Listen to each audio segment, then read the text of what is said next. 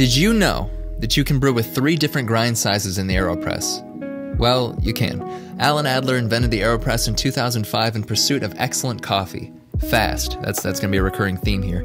While inverted isn't Alan's go-to method because it's not necessarily fast. See, I told you would come back. It's how we will be brewing today. We're using 19 grams of coffee to 200 grams of water, two pours of 100 grams each with a 30 second bloom. First off, we have fine ground coffee. It brews for one to two minutes. It's great for brewing a quick cup in between meetings or at the meeting, or first thing in the morning when you're already very, very late.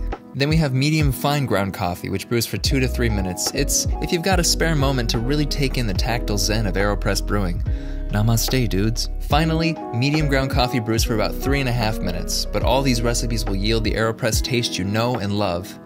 And if my math is right, which it's likely not, you hypothetically could brew coarse ground coffee for six minutes, but at that point, you're really defeating the purpose of the AeroPress. It was designed for speed, after all. So, yeah, go make some great coffee. Fast. Bye.